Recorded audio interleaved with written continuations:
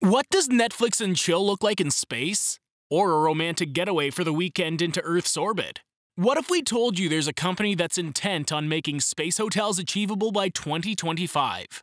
Yeah, that's just three years away. Who are these guys, and is this a serious estimation? Let's find out in today's video. Today's video is one of a kind. This is definitely one to recommend to all of your travel buddies as we're sharing the story of a space startup that aims to build a space hotel with artificial gravity by 2025. Waking up in a chic hotel room with a view of the solar system could be the future of weekend getaways, at least if the space company Orbital Assembly can pull off this feat. Orbital Assembly Corporation announced plans to develop a space business park complete with artificial gravity that's designed to accommodate 28 guests in 5 modules built around a rotating gravity ring. Whoa, can't believe all my sci fi dreams are coming true. The startup, which is based in Huntsville, Alabama, is aiming to make its first Pioneer class space station operational by 2025, in what some consider an ambitious and likely unrealistic timeline. Regardless, Orbital Assembly is intent on making this the first commercial hybrid space station that can be leveraged for both research and leisure.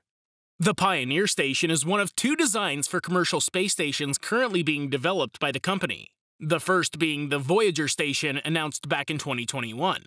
However, Pioneer is meant to precede Voyager, a larger undertaking that will be built with the aim of it being a sort of luxury space hotel capable of accommodating 400 guests at a time. Okay, so there's even a deluxe version coming soon. Let's backtrack a little, and let's learn more about Orbital Space Assembly Corporation, or OAC. OAC is working towards becoming a pioneer in extensive space development and a leader in industrial space development. They're striving to enable humanity with the ability to work, play, and thrive in the space ecosystem. The companies develop the technology and capabilities to build structures in space at an exponentially lower cost than building them on Earth and transporting them. They believe that for the first time, space tourists and other inhabitants will be able to experience long periods in space without the debilitating long term effects of zero gravity. You might be wondering what is the effect of zero gravity. Have you ever gone bungee jumping or cliff diving? Okay, y'all don't do extreme sports like me. But even one of those drop tower rides where you're just free falling for a while, doesn't it seem as if you're weightless? Your weight is defined as long as you have something supporting you to realize this weight. You feel the experience of weightlessness when there's no supporting force acting on your body. Zero gravity is another term referring to the phenomenon of weightlessness. Bodies in freefall and those in orbit experience this. But here's the thing those nice space videos don't show you. Zero gravity environments have negative and detrimental impacts on the body in just 48 hours of exposure. While short term exposure is recoverable, this aspect makes long term habitation in space unsustainable.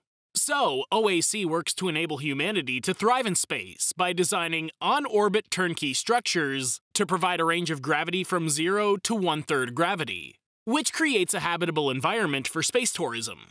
But what about my plans for impressing a girl with a romantic vacation in a space hotel? Pioneer class station is projected to be completed by 2025 with the capability to accommodate up to 56 passengers and crew on 4 to 8 habitation modules. This microgravity space station is designed for intermittent artificial gravity operation, providing the opportunity for long-term habitation. The Pioneer class station is designed to generate revenue in the following areas tourism, manufacturing, and research. OAC anticipates the station will be cash flow positive in its first year of operation, and that its revenue will significantly reduce debt by 2026 so that OAC will be in a good position to fund future construction with minimal equity or debt financing. But come on, anyone with a business background will know that's silly speculation. Has a construction company ever finished anything on time and on budget? How does the Pioneer operate? The COO calls it a spinning bucket of water. He says the station rotates, pushing the contents of the station out to the perimeter of the station, much in the way that you can spin a bucket of water. The water pushes out into the bucket and stays in place. Near the center of the station, there would be no artificial gravity, but as you move down the outside of the station, the feeling of gravity increases. Well, we can't say for sure if they can achieve this, but here's what's going on for them. They launched the D-Star program with a record-breaking successful ground demonstration in June 2021, where the team assembled a structure the length of a football field in under 25 minutes.